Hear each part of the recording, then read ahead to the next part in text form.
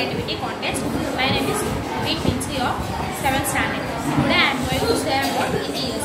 Mainly we have four, four operations in math. They are addition, subtraction, multiplication and division. We have some fundamental rules in integers. They are less plus, plus, minus into minus, plus, plus into plus, minus, minus, minus into plus, minus. And tiny that- and last being monitored in this? and integers are first known as 1571 by Thomas Pressedia book named called Pantometria. It comes from a Latin word for die. Die. It is the set of integers are donated by Zen.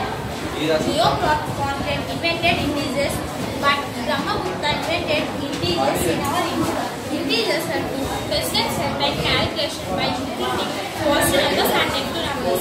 They involve, in addition, they also include all negative numbers and positive integers without a decimal point.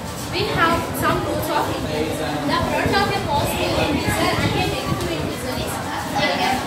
We can use this question by rolling. You can see here minus 8 into minus 4 is equal to 32 because minus into minus is equal to plus.